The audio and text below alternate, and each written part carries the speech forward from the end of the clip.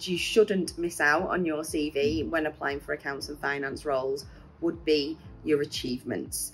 Now, most people think that means um, I've got my qualification, that's an achievement. That is not what I mean at all. So again, I'm going to use uh, an analogy that I often use with candidates and it is, right, okay, so you've got yourself and another candidate going for exactly the same role. Let's just say a management accountant's role for argument's sake. Um, and you have just got exactly what it is you do as a management accountant. So accruals, prepayments, um, P&L, um, and then putting your commentary together, at, commentary together at the end of the month. The other candidate has got all of that and then they add on what they where they've added value or where they've been involved in an additional project um, within the business that's outside of the normal remit.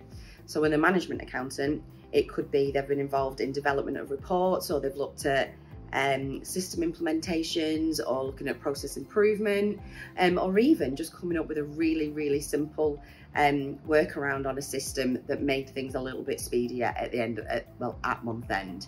So that's kind of the number one tip.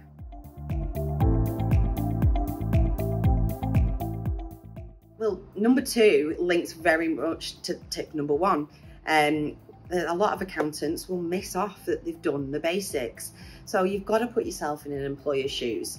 So have a think about what you actually do in your role or even have a look at the job spec um, for the role that you're applying for. If that role says you need experience with currency and you've not put a multi-currency on your CV, put it on your CV if you've done it, of course, um, and just making sure you've got those basic elements of what it is that you actually do because the amount of times that that's been missed off a CV that I've sent to one of my clients um, and they've gone, well, this person hasn't got a accruals and prepayments experience. I'm like, well, actually, they do. It's just not on their CV. If you've already got it there, it's got to help uh, help you and help me and save everyone a little bit of time going back and forth.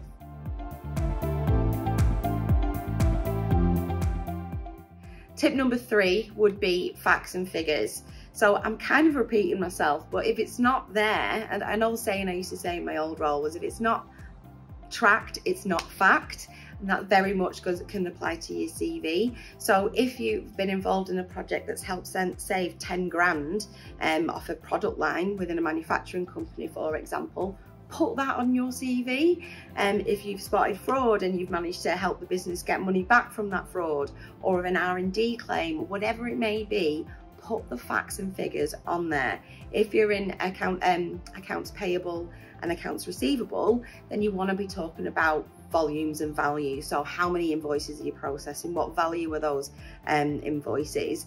And are they in different currencies? You've got to put some facts and figures on. At the end of the day, accountants recruit accountants. So the more facts and figures you've got on there, the better it's going to be.